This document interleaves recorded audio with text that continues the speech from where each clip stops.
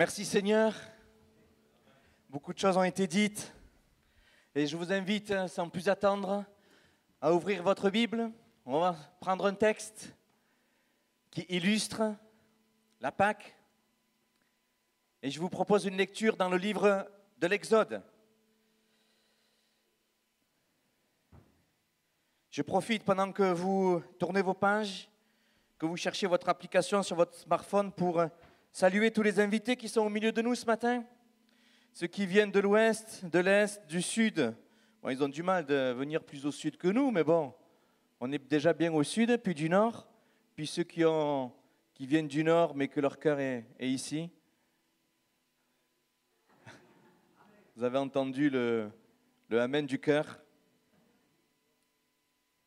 Ne repars pas avec le soleil que nous avons, s'il te plaît. Vous l'avez, Exode, chapitre 12 On y va à partir du verset 1er.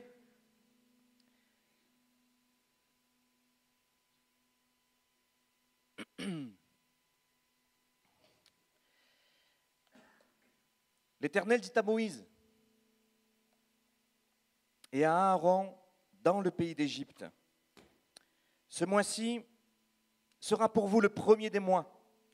Il sera pour vous le premier des mois de l'année.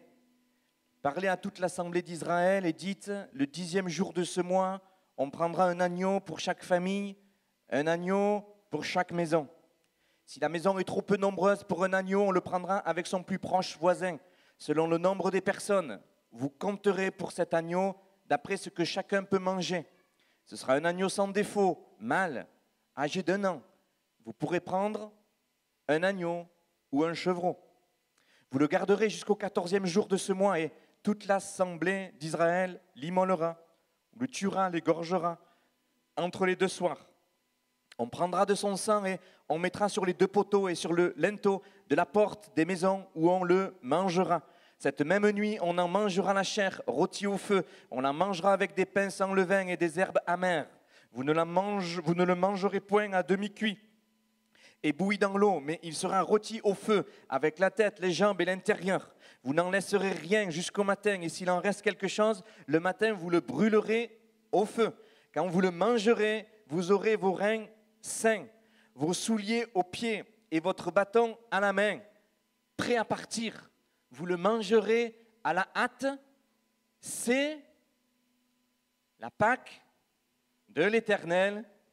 Alléluia depuis les temps anciens, au moment de Moïse, au moment de, l'esclavage du peuple de Dieu en Égypte, euh, nous sommes dans un contexte où euh, les, plaies sont, sont déversées sur le peuple d'Égypte à cause de l'incrédulité, du cœur dur, de la résistance à Dieu. Et nous sommes dans cette dernière plaie où cette dernière plaie est la mort des premiers-nés c'est la nuit. Le matin, c'est la libération. Dieu a prévu de libérer son peuple. Et à ce moment-là, sur ce temps très particulier, nous sommes au moment où Dieu institue la Pâque. Nous sommes au moment où Dieu institue la Pâque. Et, et, nous comprenons que depuis les temps anciens, Dieu a tout prévu. La Pâque a été instituée avec Moïse, euh, euh, préfigure l'œuvre de Jésus à la croix.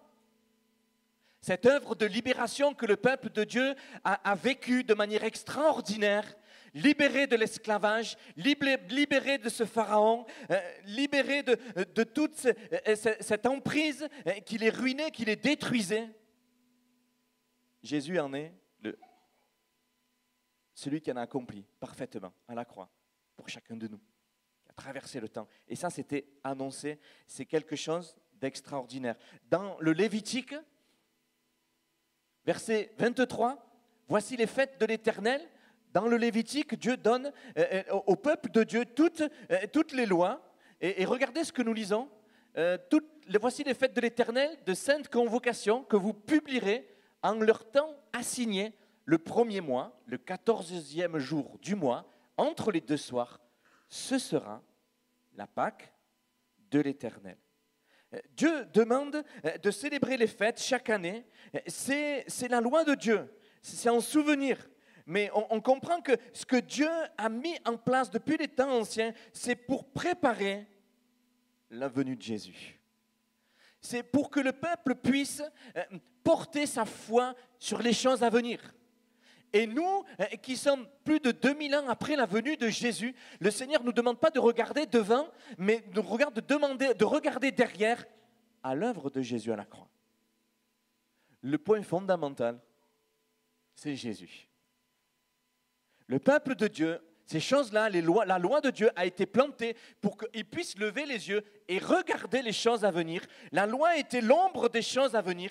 Mais pour nous, euh, je vous encourage chacun, chacune, à, regarder derrière à l'œuvre de Jésus à la croix et à saisir de la même manière, par la foi, l'œuvre de libération et l'œuvre de victoire. Amen. Et que ça soit réellement ce qui est au plus profond de notre cœur, on comprend euh, que toutes ces choses ont été mises en place par Dieu dans un but de mettre en lumière l'œuvre de Jésus, dans un but de préparer la venue de Jésus, que Jésus, sa venue ne soit pas dans l'ombre, de cachée, mais qu'elle soit préparée, organisée. La Bible dit au temps fixé par Dieu, Christ est venu. Amen. Paul le dira comme ça concernant la Pâque. Il dira aux Corinthiens au chapitre 5 et au verset 7, il dira aux chrétiens de Corinthe, ôtez le vieux levain afin que vous soyez une nouvelle pâte puisque vous êtes sans levain, car Christ, notre Pâque, a été sacrifié. On comprend euh, ici euh, que Paul parle de la fête de la Pâque. Les Corinthiens étaient bien au clair avec ça. Le, sang levain, euh, le vieux levain, pardon, que, que, Paul met en lumière, ben, c'était une technique de fabrication du pain de l'époque qui, a un peu perdu euh, aujourd'hui euh, l'usage parce que maintenant ce qu'on utilise pour faire monter le pain, ben, on met dans la pâte de la, de la levure chimique le bien souvent. Bien souvent. les pâtissiers, les pâtissières vous êtes euh, bien au courant avec ça. Mais dans les temps anciens, qu'est-ce qu'ils faisaient? Quand ils fabriquaient leurs pâtes, ils, gardaient un, morceau de pâte, ils la mettaient de côté, ils ne l'utilisaient pas, et par contre, ils s'en servaient le lendemain. Et pendant la nuit, cette pâte, elle avait fermenté. Elle avait un petit peu tourné, quoi. Elle était un peu euh, impropre à, l'utilisation, mais quand elle était mélangée à la pâte du jour, elle permettait au pain de, de gonfler.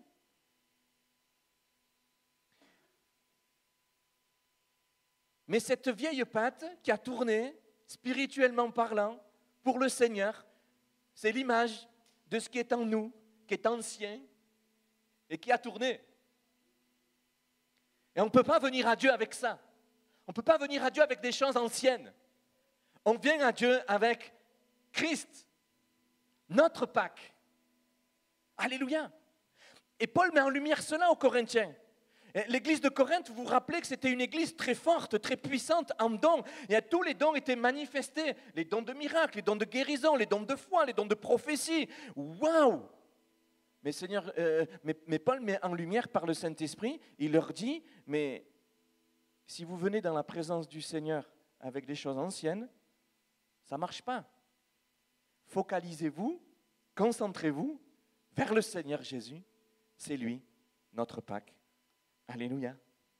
Et vous vous rappelez Jean-Baptiste quand il a vu arriver le Seigneur Jésus, ce texte dans le chapitre 1er au verset 29, le lendemain, Jean-Baptiste voit Jésus venant à lui et il dit, voici l'agneau de Dieu qui ôte le péché du monde. Vous vous rappelez que sur notre texte, il est question au peuple de Dieu d'un agneau à sacrifier. Ce que Dieu a mis en place. Et quand Jean-Baptiste s'adresse à Jésus en disant, euh, regardez tout le monde, voici l'agneau de Dieu, tous les juifs de l'époque qui étaient autour de Jean-Baptiste, ils ont compris, ils ont fait le lien. Nous, on a perdu tout ça, mais pour eux, c'était clair. Alléluia. Que ça puisse être clair pour nous. Christ est venu. mourir jusqu'au de la croix, sacrifié, son sang a coulé. On a vu les épines, on a vu, on, a vu les, les clous. Son côté a été percé. Pour que nous puissions devenir une nouvelle pâte. Que des choses anciennes soient enlevées. Seigneur, je veux me concentrer sur toi. Les regards fixés sur toi. Alléluia. Il y a un lien très fort entre la Pâque et la crucifixion de Jésus. C'est clair dans les Écritures. Regardez un autre verset euh, qui va dans ce sens-là. Matthieu 26. Verset 1er, verset 2. Il arriva lorsque Jésus eut achevé tous ses discours. Il dit à ses disciples, vous savez que la Pâque est dans deux jours. Et le Fils de l'homme est livré pour être crucifié à ce moment-là. Encore, ce verset nous, parle à travers les évangiles. Il y a une connexion très forte avec les choses anciennes que Dieu a placées depuis la nuit des temps jusqu'à la venue de Jésus. Tout coïncide, mes amis. Christ, notre Pâque. Jésus n'est pas venu à Jérusalem comme ça, n'importe quand, n'importe comment. Juste au moment de la Pâque. Quelqu'un dira dans le mot hasard, il y a un dé comme Dieu. Il n'y a pas de hasard avec Dieu. Alléluia. Donc Christ, notre Pâque, comprenons que c'est un sacrifice parfait.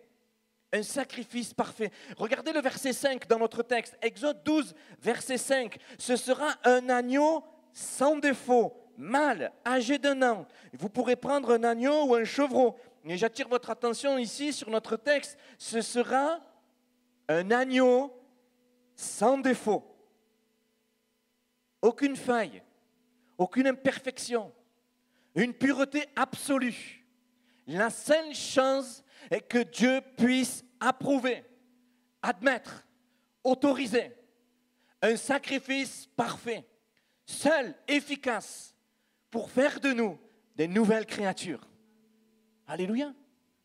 Alléluia. Pierre le dit comme ça au chapitre 1er de sa première épître, versets 18 et 19, vous avez été rachetés de votre vaine manière de vivre, qui vous avait été enseignée par vos pères, ou les traductions disent que vous avez hérité de vos pères, non par des choses périssables, c'est-à-dire non pas par nos propres efforts, non par l'or, ni par l'argent, mais par le sang précieux de Christ. Qu'est-ce que nous relisons encore? Comme d'un agneau sans défaut et sans tache. Comme d'un agneau sans défaut et sans tache, Jésus est celui qui est venu et qui a parfaitement accompli la loi de Dieu. Il a parfaitement accompli la loi de Dieu. Il a satisfait aux exigences saintes de son Père. Hébreu nous le dit comme ça, au chapitre 9. Je vous l'ai mis dans la traduction parole vivante qui me semble plus explicite. Il a pénétré une fois pour toutes dans le lieu très saint pour offrir son propre sang, non celui des boucs ou des veaux. Vous savez qu'à l'époque, ici, Hébreu fait, référence à la loi encore une fois. La loi disait que dans la présence euh, de, Dieu, dans le lieu très saint, seulement une personne pouvait y aller, le souverain sacrificateur une fois par an, dans des conditions très précises. Vous le lirez tout le, chapitre, tout, euh, tout le livre lévitique. C'est écrit là. Des exigences bien précises. Et Jésus, il a remplacé, il est lui-même ce souverain sacrificateur qui a traversé le voile. Il n'est pas allé avec le sang des autres, il n'est pas allé avec le sang des animaux, il est allé avec son propre sang. Un sang pur, parfait, sans tache, qui a répondu aux exigences de Dieu pour le salut de nous tous. C'est la Pâque. C'est la signification de la Pâque. Et quelle chose extraordinaire, Seigneur Jésus, il nous a ainsi acquis une libération définitive une éternelle réconciliation avec Dieu. Le mot réconcilier, rapprochement avec Dieu. plus le mur du péché dont Isaïe nous parle, plus de voile de séparation.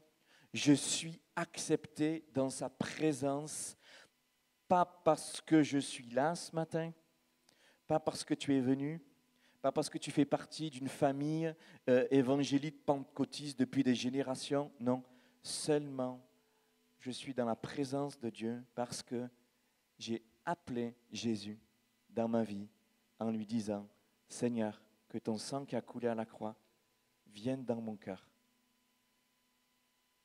Laver tous mes péchés, me purifier, et tu fais de moi une pâte nouvelle, une nouvelle personne, une nouvelle créature. Ainsi, le voile de séparation est brisé, déchiré, enlevé, et je suis dans la présence du Seigneur. Ce n'est pas une question de, religion, de liturgie, d'intellect, seulement une question de cœur. Est-ce que nous voulons ce matin engager tout notre cœur à cela? Seigneur, merci. La, voie est ouverte, le chemin est ouvert pour venir jusque dans ta présence. Je ne veux pas manquer d'y aller. Je ne veux pas manquer d'y aller. Une fois de plus, pour quelqu'un qui, a accepté Jésus dans sa vie depuis peut-être des années, je ne veux pas manquer ce matin de me tenir devant toi. C'est une grâce, Seigneur. Et peut-être que ce matin, il y a quelqu'un qui, qui n'a pas encore fait ce pas, tu n'as pas fait cette démarche de cœur. Dans ta vie, il y a encore la vieille patte. Vous savez de quoi je parle? Les choses anciennes. Rien à voir avec les amis qui viennent te taper sur l'épaule en disant Toi, tu es une bonne patte. Non, ça c'est autre chose, c'est une autre expression. Mais c'est-à-dire, enlève des choses qui sont anciennes de ma vie. Des choses peut-être même qui nous poursuivent. Ils nous libèrent, ils nous coupent. Alléluia, comme dans les temps anciens, le peuple de Dieu a été libéré de l'oppression de Pharaon, libéré de l'esclavage de l'Égypte. Alléluia. Dans la présence du Père, avec son propre sang, il le présente à Dieu dans un but de nous accorder le salut. Waouh C'est extraordinaire. Seigneur, merci. Euh, veuille par le Saint-Esprit euh, renouveler ces choses-là dans nos cœurs et que cela puisse produire la joie. Paul le dira encore comme ça dans Romains. Dieu prouve son amour envers nous en ce que lorsque nous étions encore pécheurs, Christ est mort pour nous. À plus forte raison, donc maintenant que nous sommes rendus justes par son sang, serons-nous sauvés par lui de la colère à venir? Quelle chose extraordinaire Nous sommes rendus justes. Dieu nous regarde juste. Quand nous, on nous regarde, on se regarde nous-mêmes. C'est dur, hein? On ne passe pas forcément des semaines faciles. Notre euh, engagement avec le Seigneur est, est attaqué, il est bousculé des fois. Mon intégrité est attaquée. Il y a la pression du besoin, la pression du monde, la pression de mes raisonnements. Et on vient dans sa présence, on se dit, mais comment est-ce que euh, le Seigneur peut accepter ma prière? Comment est-ce que le Seigneur peut approuver ma démarche? Comment est-ce que le Seigneur peut continuer à m'aimer? Est-ce que ça ne vous le fait pas? Eh oui. Et on se sent ici, des fois, Seigneur, je ne mérite pas. Je vais dans ton sens, c'est vrai, tu as raison, nous ne méritons pas. Mais c'est la grâce de Dieu. C'est l'œuvre de Jésus à la croix pour chacun de nous qui fait qu'aujourd'hui, je peux me tenir devant lui et je dis, Seigneur, si tu es là, c'est vraiment un effet de ta grâce. Oh, ça ne nous encourage pas à vivre médiocrement, que ça ne nous encourage pas à entretenir la, la patte ancienne. Non, mais que ça nous encourage à dire Seigneur, tu es tellement fidèle, tellement plein d'amour pour moi. Tu mourrais avant que je naisse pour me proposer le salut. J'ai saisi le salut. Je saisis le salut ce matin. Mais je ne veux pas le piétiner. Je veux vivre pour te plaire. Ton sacrifice est tellement parfait, Seigneur. Et ça, je ne veux pas passer à côté. Alléluia. Le verset 6 de notre texte dit ceci. Vous le garderez jusqu'au quatorzième jour jusqu'au quatorzième jour de ce mois, et toute l'assemblée d'Israël l'immolera entre les deux soirs. Si vous avez fait attention au verset 3, nous avons, lu le dixième jour de ce mois, on prendra un agneau, et le verset 6 nous dit, vous le garderez jusqu'au quatorzième jour. Vous, vous mettez dans votre chambre l'agneau pendant quatre jours. Tu dors avec lui, tu manges avec lui, tu fais ton travail avec lui, tu le gardes. Vous le garderez jusqu'au quatorzième jour et toute la congrégation de l'Assemblée d'Israël l'immolera entre les deux soirs. Pourquoi le Seigneur demande ça? Le peuple de Dieu devait prendre le temps d'examiner, de vérifier que cet agneau était vraiment un agneau sans défaut. Parce que Dieu ne pouvait accepter autre chose qu'un sacrifice parfait. C'est pour ça qu'il fallait que Jésus vienne, lui qui est Dieu, qui n'a jamais été créé. Il a fallu que le Seigneur Jésus quitte son ciel de gloire, revêtir notre humanité. Il s'est incarné dans un corps comme le nôtre. Il n'a pas été créé à ce moment-là, comme vous et moi. Comprenons. C'était le seul moyen pour que euh, euh, cet agneau de Dieu pur, parfait, en mourant sur la croix et en apportant son sang à Dieu, soit approuvé par Dieu et de la loi depuis les temps anciens. Dieu avait planté ces principes-là. Il avait dit, vous gardez l'agneau avec vous. Vous le gardez. Et vous vérifiez qu'il est réellement sans défaut. Faisons le lien avec Jésus.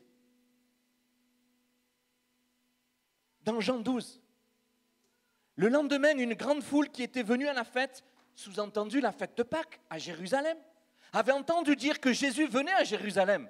Ils ont pris les rameaux, vous avez vu sur les vidéos tout à l'heure, vous avez pris les rameaux des palmiers, ils sont sortis au devant de lui et ils criaient Hosanna, béni soit celui qui vient au nom du Seigneur, le roi d'Israël. Les jours avant sa crucifixion, pendant de longues journées, Jésus était là à Jérusalem. Il était aux yeux de tous, il était aux yeux des religieux.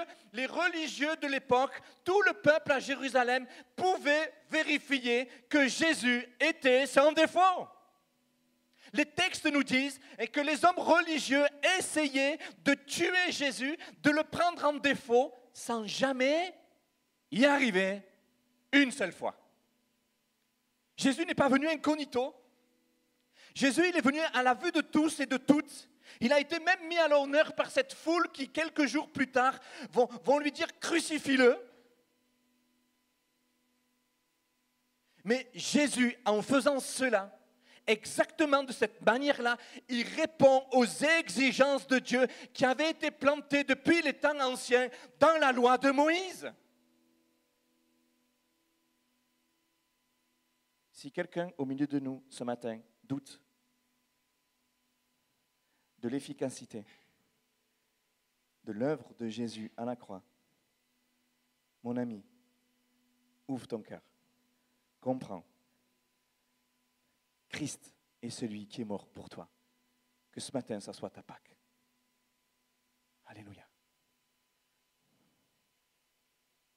Quel exemple parfait d'humilité, d'amour, de compassion de ce Dieu que les cieux de cieux ne peuvent contenir et qui s'est mis à notre portée. Quelle grâce, Seigneur. Tu es tellement extraordinaire, tu es tellement parfait. Christ, notre Pâque ce sacrifice parfait. allons plus loin.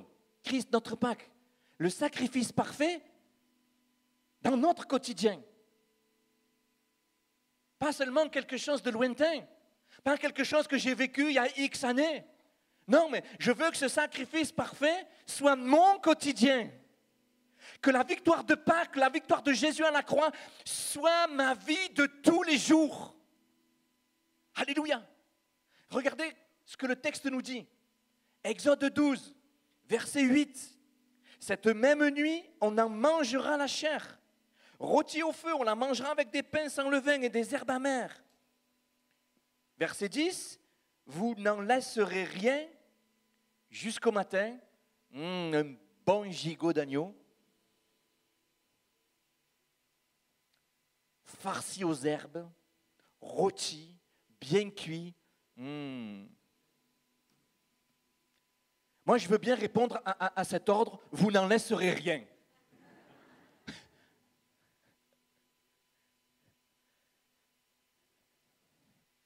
Tout manger. L'agneau devait être la nourriture de tous ceux qui étaient dans la maison. Tu ne pouvais pas être dans la maison, pouvoir te sentir protégé parce que tu étais dans la maison, parce que le maître de maison avait mis le sang justement de l'agneau sur les portes, sur les linteaux et sur les montants. C'est nécessaire, il fallait être sous la protection du sang de l'agneau.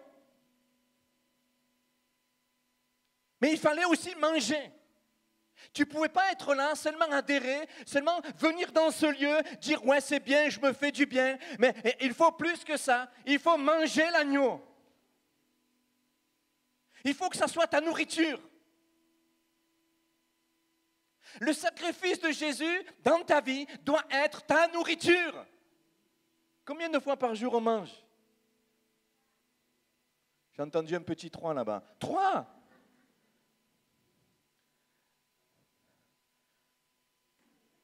Admettons qu'on mange une fois, mais au moins on mange tous les jours. On est privilégié ici. J'entendais un reportage, euh, je ne sais plus dans quel pays, les enfants, ils, font un repas par semaine. Terrible. Terrible. Nous, on a ce privilège de manger tous les jours. Christ, notre Pâque, notre nourriture tous les jours.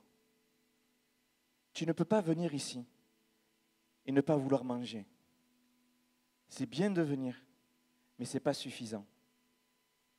Tu dois manger, ingurgiter, digérer. Parce que c'est seulement lorsque nous mangeons que nous avons des forces nouvelles dans notre corps, oui ou non? Et c'est seulement si je mange, comprenez l'image, si je mange Christ tous les jours, c'est lui qui me donne les forces. C'est pour ça que Christ, ma Pâque, le sacrifice parfait, ça doit l'être dans mon quotidien. Vous me suivez? Regardez, Jean chapitre 6.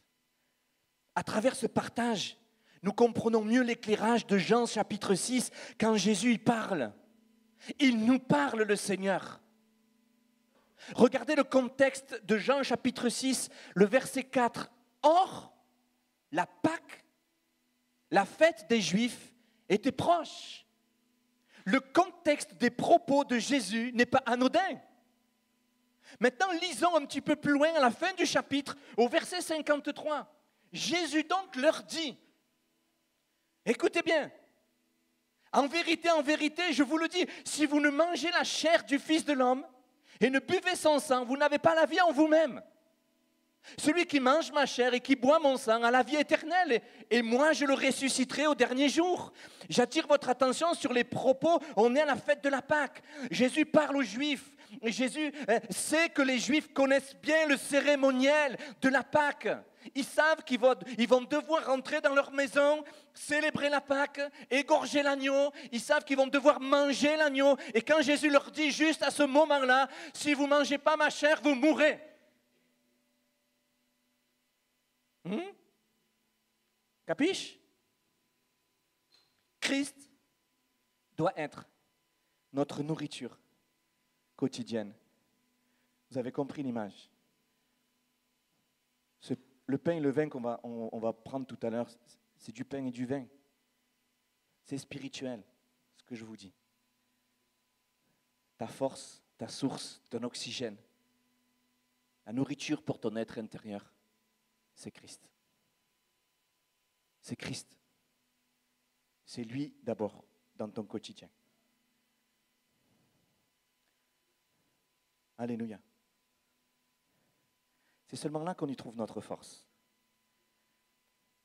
Et c'est juste à ce moment-là que cette grâce de Dieu influence ma vie au quotidien, brise mes chaînes au quotidien, m'éclaire au quotidien, me dit quoi faire au quotidien. Dans tes luttes et dans tes combats, lorsque tu es limité, lorsque des choses euh, viennent sur ta vie comme des vins, comme des montagnes, qu'il y a tout qui bouge, que tu ne sais pas quelle décision prendre, Christ, ma nourriture, me donne de faire le bon choix et d'être dans le calme et la sérénité dans mes tempêtes. Je t'en supplie, ne prends pas de décision euh, hâtive, ne, prends aucun choix euh, dans ta vie important ou pas important sans la directive de Dieu dans ta vie. C'est comme cela que tu enverras un signal dans le ciel qui traverse l'enfer, la mort, qui va dans la présence de Dieu envers et contre tout, pour toujours et chaque jour. Christ, tu es mon quotidien, ma source. Amen. Amen. Et là, le Seigneur va nous éclairer. Il va nous montrer, il va nous guider, il va nous conduire. Il va nous parler. Il va nous nourrir. Alléluia.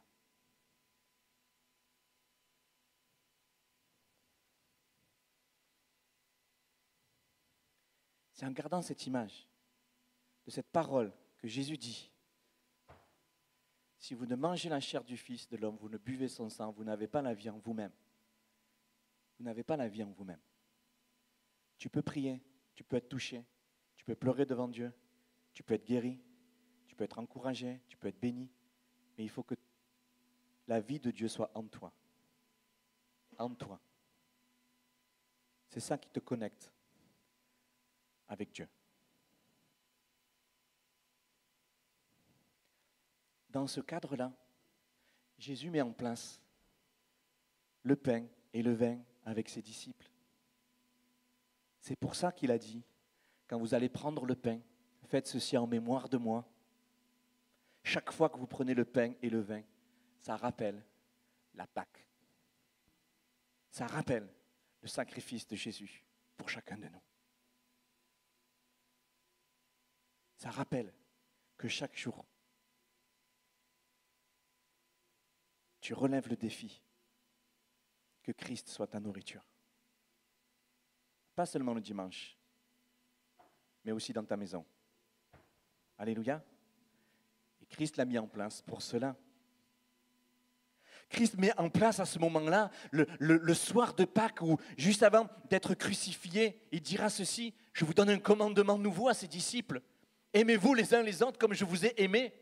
Vous aussi, aimez-vous les uns les autres. À ceci, tous connaîtront que vous êtes mes disciples si vous avez de l'amour les uns pour les autres.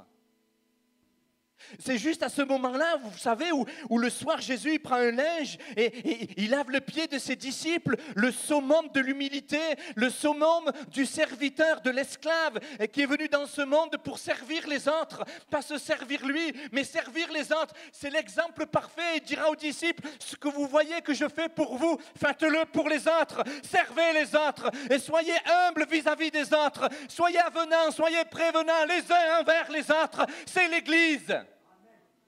Et c'est possible grâce à la Pâque.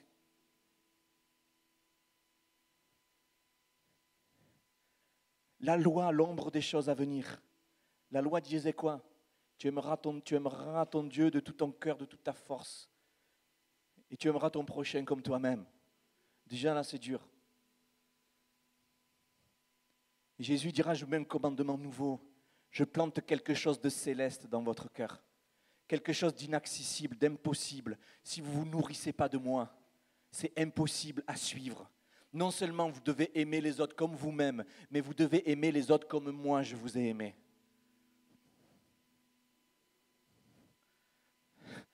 Je crois qu'on peut tous sortir des rangs, se mettre dans les allées, tomber à genoux, dire Seigneur au secours.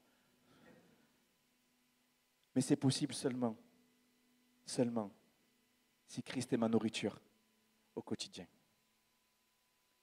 Mais toutes ces choses-là ont été plantées au moment de la Pâque. Est-ce que nous voulons que Christ soit notre nourriture au quotidien? Est-ce que nous le voulons? C'est une manière de vivre, vous l'avez compris. C'est une manière de vivre. On prend un instant pour voir ce dernier point. Christ, notre Pâque, c'est une espérance glorieuse. Je ne pouvais pas finir sans ça. Une espérance glorieuse. Regardez Exode 12, mais on va un petit peu plus loin que le texte. un petit peu plus loin pour le texte, ceux qui suivent avec moi dans vos livres, dans vos Bibles, prenez le verset 40. Il s'affiche ici. Le séjour des enfants d'Israël en Égypte fut de 430 ans. Au bout de 430 ans, il arriva en ce même jour que toutes les armées de l'Éternel sortirent du pays d'Égypte. Cette, cette nuit sera célébrée pour l'Éternel parce qu'il les a fait sortir du pays d'Égypte. Alléluia. Après toutes ces années d'esclavage, la force et la puissance de Dieu se manifestent pour libérer le peuple. Le sang qui a coulé dans la nuit qui a précédé, euh, c'est l'image du sang que, Jésus a versé, c'est la manifestation de l'amour de Dieu pour nous. Alléluia.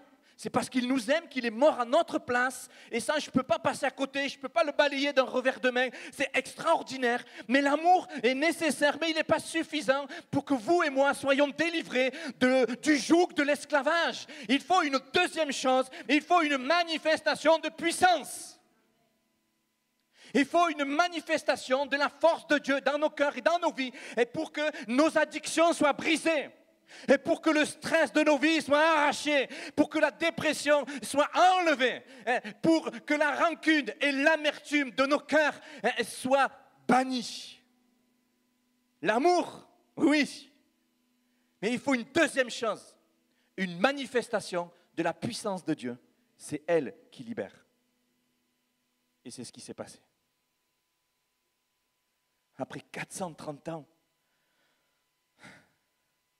Nous, on dit, non, ça fait 10 ans que je galère, ça fait 6 mois que je galère, j'en peux plus, Seigneur. 430 ans d'esclavage. S'il y avait des personnes qui, avaient jeté l'éponge, à mon avis, c'était eux. Mais à ce moment-là, Christ est venu, il les a libérés avec force et puissance. Alléluia. Courage, mon ami, courage, mon frère, ma soeur, dans, la, dans ton attente de voir une libération, de voir quelque chose qui s'ouvre courage, persévère, que Christ continue à être ta nourriture. Tu as un Jésus glorieux. Amen. Nous avons un Jésus glorieux. Le peuple, à ce moment-là, vous savez ce qui se passe? Lorsque la mer Rouge s'ouvre en deux, le peuple est libéré, l'armée d'Égyptiens est détruite, vous relirez toutes ces choses-là. Mais au, au chapitre 15 d'Exode, est-ce que vous savez ce qui se passe?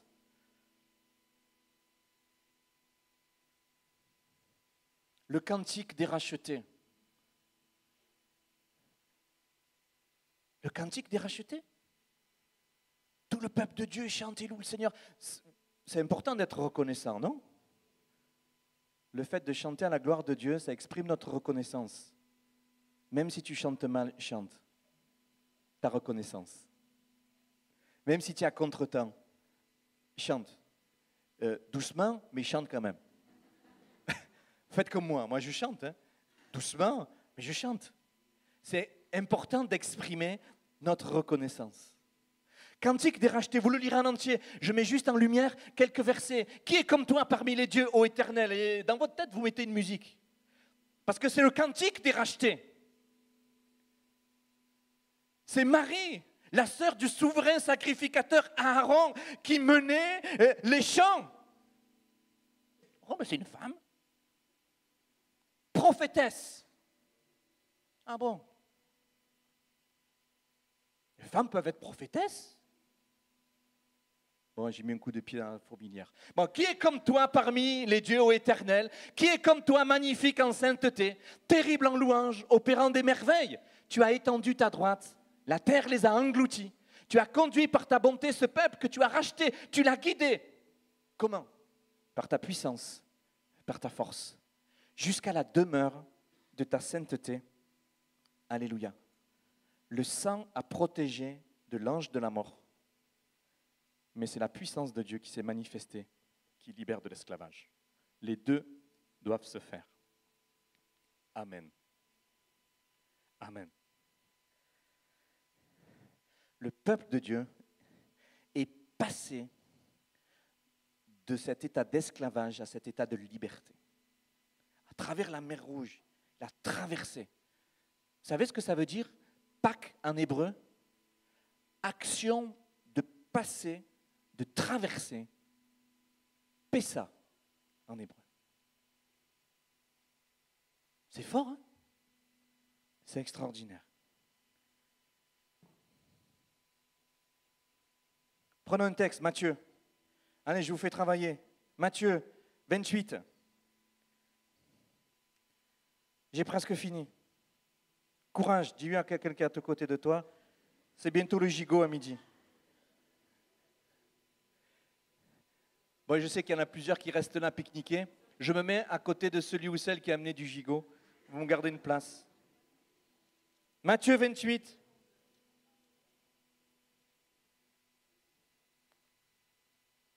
Vous l'avez?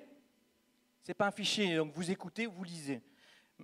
Après le sabbat, à l'aube du premier jour de la semaine, Marie de Magdala et l'autre Marie allèrent voir le sépulcre là où Jésus avait été mis. Et voici, il y eut un grand tremblement de terre, car un ange du Seigneur descendit du ciel, vint rouler la pierre et s'assit dessus. Son aspect était comme l'éclair, son vêtement blanc comme la neige. Les gardes tremblèrent de peur et devinrent comme morts. Mais l'ange prit la parole, il dit aux femmes, pour vous, ne craignez pas, car je sais que vous cherchez Jésus qui a été crucifié. Il n'est point ici, il est ressuscité comme il l'avait dit. Alléluia. Et, Luc nous le dit comme ça, verset 5 comme elles étaient épouvantées, elles, étaient devant les anges comme ça, elles étaient épouvantées, et elles baissaient le visage contre terre, et les anges leur dirent, pourquoi cherchez-vous parmi les morts celui qui est vivant? La mort n'a pas pu retenir le Seigneur Jésus. L'enfer n'a pas pu le retenir. Il est vivant en gloire avec force et puissance.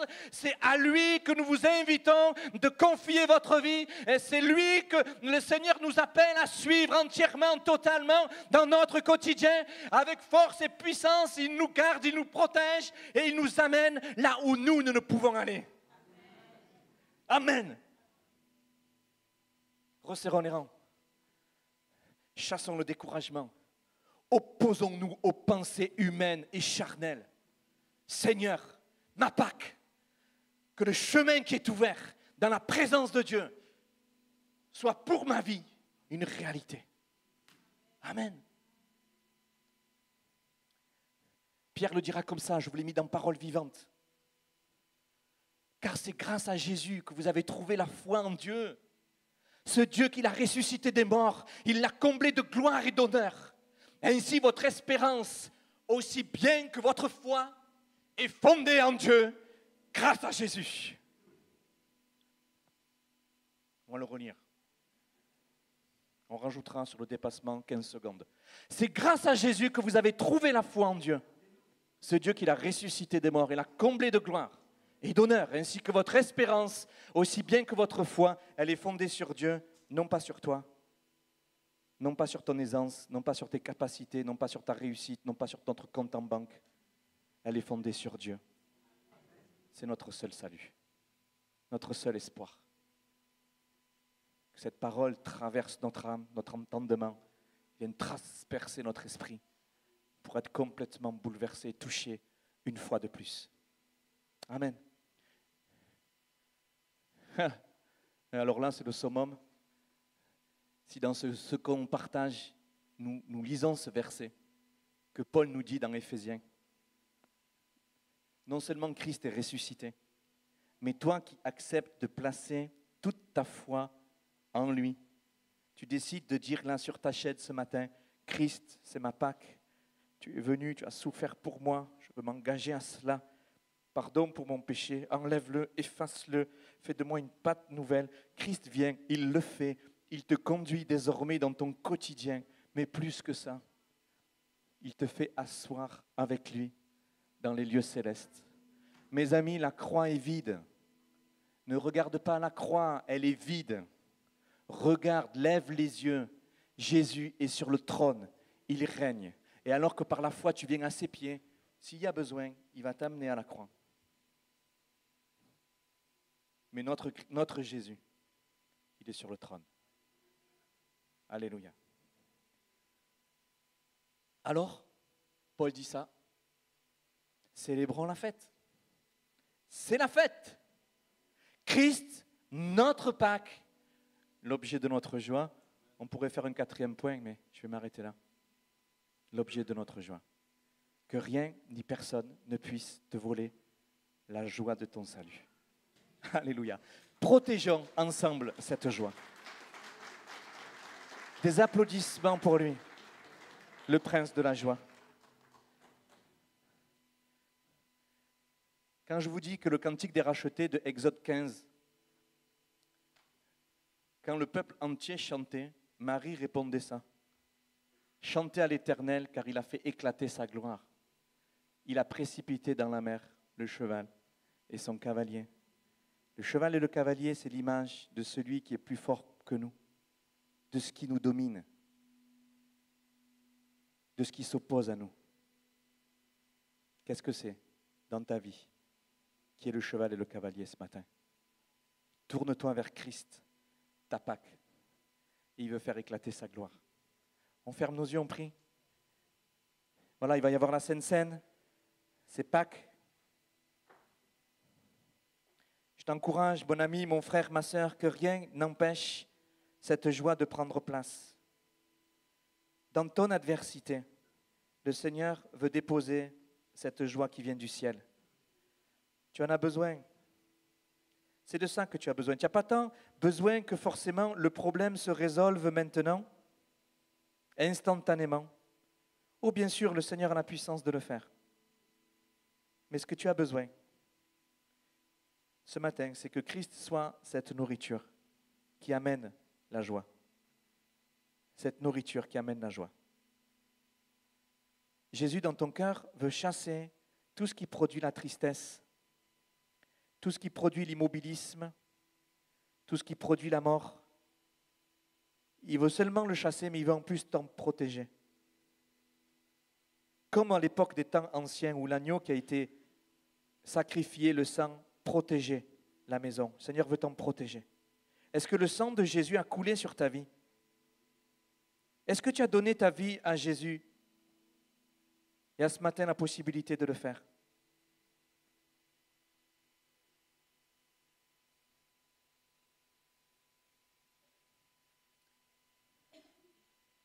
Seigneur, nous ne voulons pas présumer de nos forces, présumer de ce que nous sommes.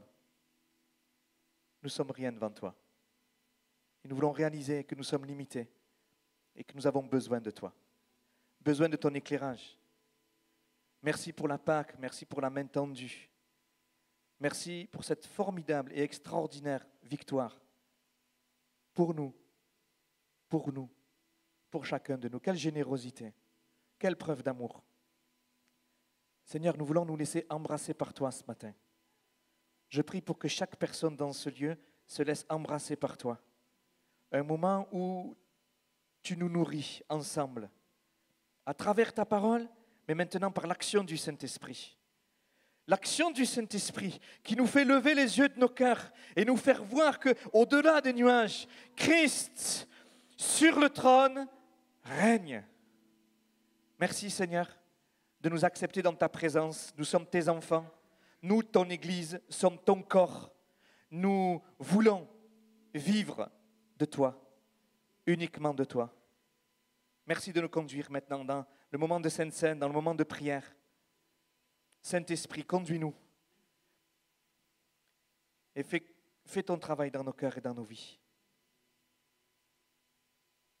À toi toute la gloire, Seigneur. À toi toute la gloire, Jésus. On, est en prière. Je vais appeler les personnes pour la Sainte de venir. Et peut-être l'équipe de chant peut nous conduire tranquillement à travers un chant, dans cette, dans cette Pâque, dans cette joie, dans cette victoire que nous saisissons par la foi.